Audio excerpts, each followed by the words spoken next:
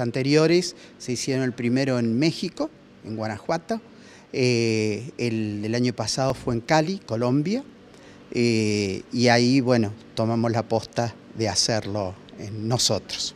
Los objetivos es trabajar fundamentalmente sobre los objetivos de desarrollo sostenible, los OEDC, OEDC, que definido por eh, Naciones Unidas que son en pos de la preservación del planeta, del medio ambiente, de las condiciones de calidad de vida, de la igualdad, eh, de lucha contra la inequidad, eh, todo con, un eh, destinatario único que es el, el talento humano teniendo en cuenta que esta discusión es transversal a un montón de disciplinas, ¿por qué lo organiza la Facultad de Ciencias Económicas? Ah, buena pregunta.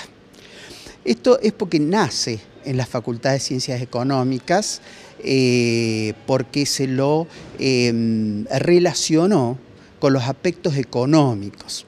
Hay algunos fundamentalistas liberales que dicen que Adam Smith en La riqueza de las naciones habla de la responsabilidad social.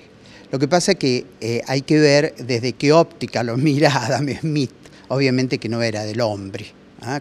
que en la administración estaba Taylor, Fayol, que no les importaba el hombre, era la responsabilidad social empresaria, que la tomaban desde el punto de vista del beneficio que les podía generar actividad de responsabilidad social.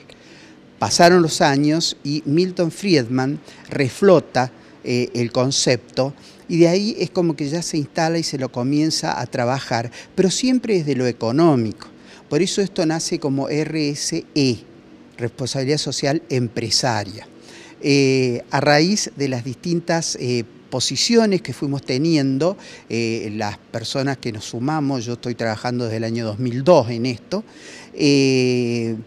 bueno, pasó a responsabilidad social corporativa. Y hoy en día ya estamos hablando de responsabilidad social.